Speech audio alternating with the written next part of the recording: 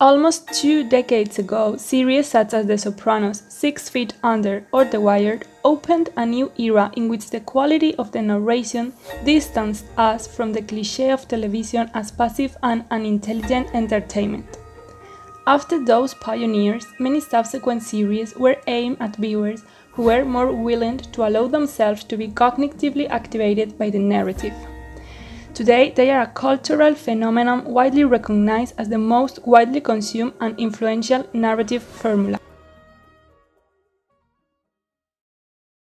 The most obvious characteristic of the series is that its stories go on for much longer than those of other media. Their extended length is a very important feature from both a cognitive and emotional point of view.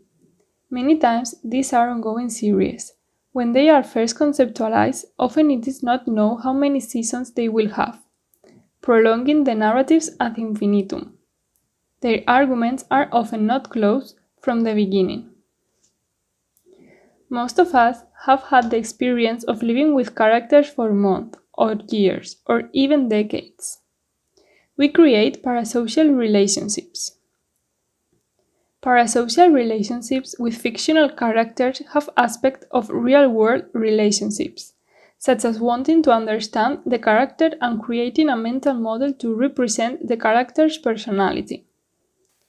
Researchers argue that identifying with a character or developing a parasocial relationship relies on our uninterrupted attention to the story or an ongoing and active engagement with the narrative. The series makes it possible to represent the complexity of a character through their evolution over time. We have seen their trajectories take new direction as they intersect with events that bring about changes to their personalities. Perhaps our understanding of such evolution, to borrow the terms of discourse psychology, could be said to be based on character models that are enriched by their interaction with situation models. We have also had to wait for the resolution of plots for days, or weeks, or even decades. Sometimes a suspenseful situation, instead of drawing out its resolution for a few minutes, can leave us waiting for days or months, as in the case of a cliffhanger that concludes a whole season. As an example of this, we could point to Hank Schrader's cliffhanger at the end of the first part of the fifth season of Breaking Bad, when he discovers who Heisenberg is thanks to the dedication written in a copy of Whitman Leaves of Grass.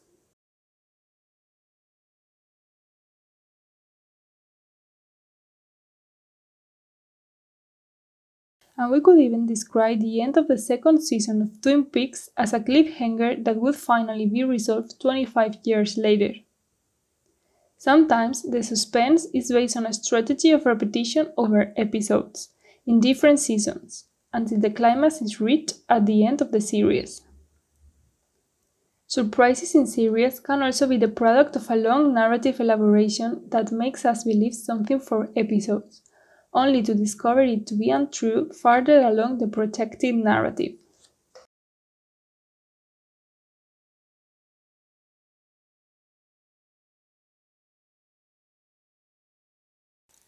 Virtually all series being made today have intricately developed multi-plot structures thanks to the extended time they have to tell their stories.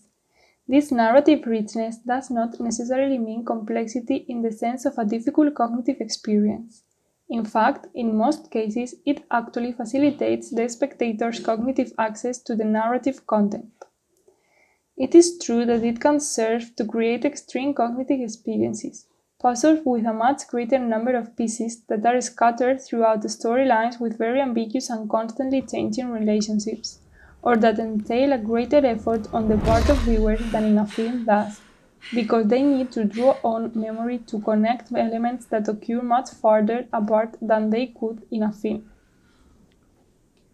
Examples of this can be found in series Westworld and Dark, but this happens only in certain cases, and more commonly, the numerous storylines simply facilitate the representation of realities that are rich in cognitive value and the interactions of their multiple protagonists, as we can see in series such as Downton Abbey or Mrs. America. How can the interplay between continuity and interruption take place without causing confusion? Indeed, the constant interruptions are mitigated by their relevance, by their timing, and because of the different techniques employed to direct the spectator's attention by means of artfully crafted transitions toward relevant information for the narrative to reactivate cognitive representations. All these elements are more than just tricks designed to enhance the spectator's experience, as they can be developed into systematic strategies that may be used to endow a series with an aesthetic identity, like the use of colors in Game of Thrones, or the systematic marking of beat plot transitions with diegetic and non-diegetic music and sound in Stranger Things. The transitions between plots constitute one of the most constant and important elements in the cognitive game that the variety of plots invites the spectators to play. The simple coexistence of parallel plots prompts spectators to think about the possible relationships between them. When these relationships become explicit, this may often serve to renew viewers' interest or elicit cognitively enriching experiences such as surprise.